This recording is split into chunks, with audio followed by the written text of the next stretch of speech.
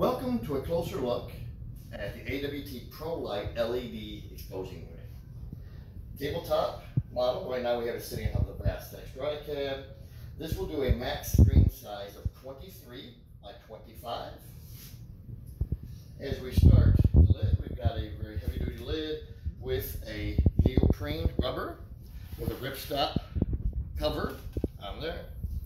We look inside, we see that we have very wide heavy duty seals, create an airtight vacuum. We've got our vacuum string to allow the vacuum to get inside the middle of the frame. We have plenty of um, fast acting UV LED lights. Over here on the control panel, very simple controls. We have on off. We have light, we can set the light to automatic or we can set the manual. Here we have it on auto. And then the same thing with vacuum, we can set it on automatic or manual. We have a easy to use um, analog control. This right here is set at 12 seconds.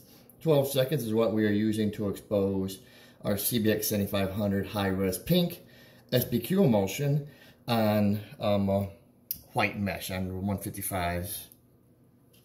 And we have a simple start button. Hit start, it will engage the timer um, start the vacuum, and then engage the lights. The unit is 120 volt, 6 amps, so runs very, very energy efficient. LED lights are rated at 50,000 hours. Um, average life, the with a 12 second exposure time, you see the LED lights should last for the life of the unit. A couple things that make this um, uh, a hot rod exposing it so fast is one, the number of the LED lights. We're dealing with, as I said, 12 second exposure on white mesh and we're at 16 second exposure on yellow mesh. But it is the vacuum. On here, it has, you notice the size of the vacuum tube in the back.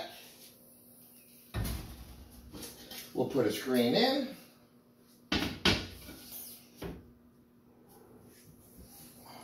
We will lock down. The average tabletop LED exposing unit is going to expose a screen in the 15 to 30 second range.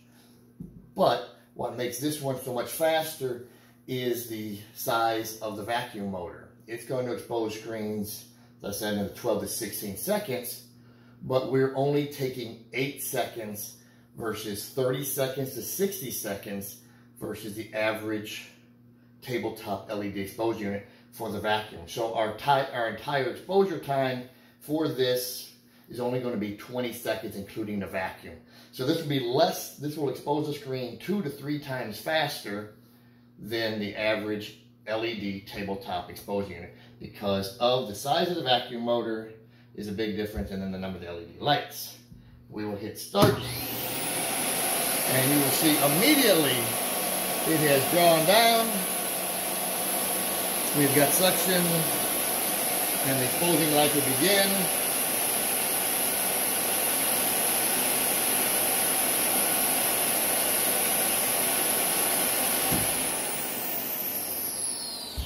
And we are done.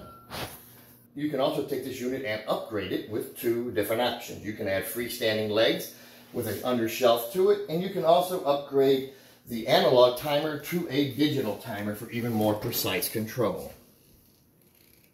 Those of you who follow our Learn to Screen Print um, channel, you'll see that this is the same, um, uh, we've used this unit in many of our classes to burn anywhere from 45 to 65 LPI with um, students actually operating and coding the screens themselves. Stop by our Atlanta showroom and check it out today. Thanks for watching.